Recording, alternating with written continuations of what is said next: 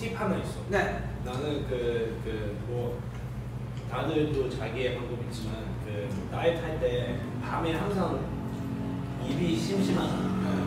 나 그럴 때는 껌 먹어. 껌. 어, 그것도 좋은 방법이에요. 그거. 저는 이빨 닦아.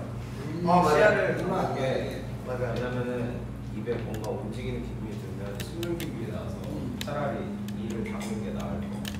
나는 그 하루를 혹사시켜요. 그러니까 음. 자, 자, 먹기 자, 빨리 가야 정도로 모든 체력을 다 쓰면 오 헬스에서 바로 잡아. 음. 저는 좋아질 수 한번